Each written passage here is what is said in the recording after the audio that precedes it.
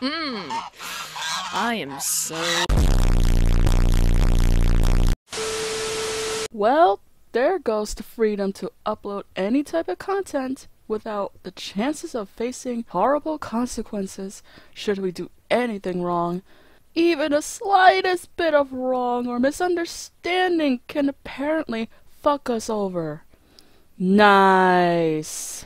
So if y'all don't know already, YouTube is in deep shit with the Federal Trade Commission, aka the FTC, because they found data of children being on the YouTube site, which is pretty bad news and also highly irresponsible. So, to get the FTC off their balls, YouTube has made a huge update that requires creators to label their videos slash channels being specifically for kids or not. Because apparently, kids can possibly watch it and we could get in huge trouble if we don't label our content appropriately. But that's not good enough. YouTube will also have a machine tracker bot or whatever to determine if our labeling is appropriate or correct. And what happens if YouTube and FTC doesn't agree with the creator's labeling? Well, they live with a debt that can go up to a 42k fine. 42k fine. Just because they believe that is the opposite type of content that we labeled against. Okay? Just just keep that in mind. For example, my art and animations have a somewhat cartoony slash anime-ish look and it may look like they're for kids. But that's the thing. They're not. Even my very first animation video is not targeted for kids because, well, it was supposed to be funny for audiences over 13. In fact, my channel was not intended nor targeted for kids under 13, like, at all. Why? Because the minimum age to be on YouTube at the time was 13.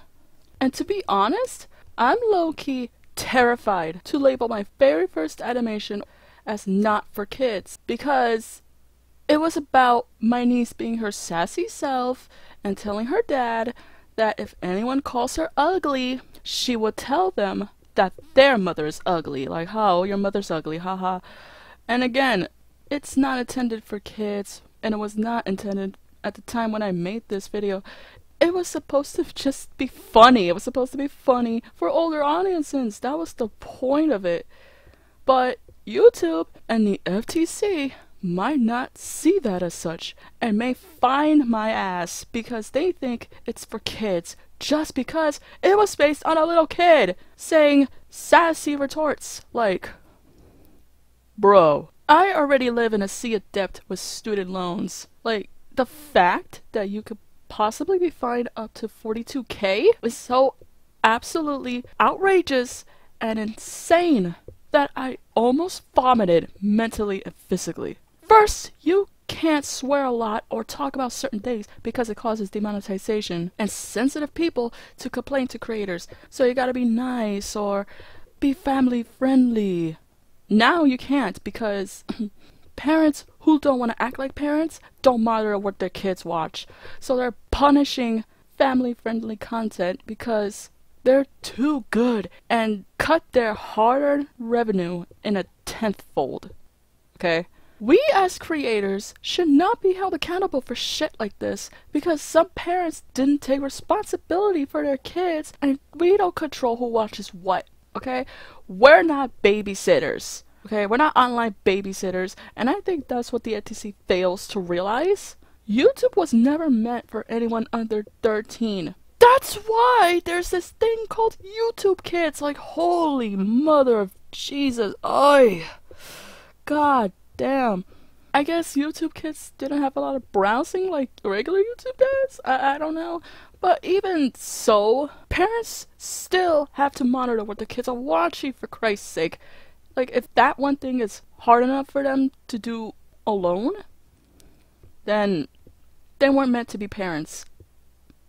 I am not sorry. Alright? I'm not. I've seen it multiple times now that some parents, like, dead ass don't want to deal with their kids acting up and just use technology as a way to calm them down instead of doing it themselves. Like, it's almost scary to see how quickly kids these days get used to having technology that they're almost, if not completely, attached to it. Okay? I tried to take away my nephew's phone one time, and my god, he threw the one fit that I cannot forget. Okay? He's three. Three. Like, holy shit. It's crazy. But honestly, if the FTC is going to do this whole thing with crushing or preventing family friendly content for kids, then I'm gonna keep it real. That's just gonna make kids even more sneaky to find other content that's intended for older audiences or not kid friendly or whatever. Because, first off, they get bored. Kids get bored, and they can be unpredictably sneaky on the internet nowadays. Believe it or not, I've seen it. So, I think the FTC just make things much worse for creators, and it, things might not get better if this goes on. Boy, I think I've ranted enough and made it very clear in this video. If you're a small content creator like me, be very careful I've included a petition link as well as the comment link to the FTC directly below in the description for those who want to say family friendly content and voice their feelings about this whole thing. So be sure to check that out below. If you haven't, or if the FTC cancels me, should I label some of my videos wrong, check out my Instagram and Twitter to catch some updates of my art and how I'm doing as a human being. That's how I notify others if I'm sick or any sneak peeks or any progress of my art and animations.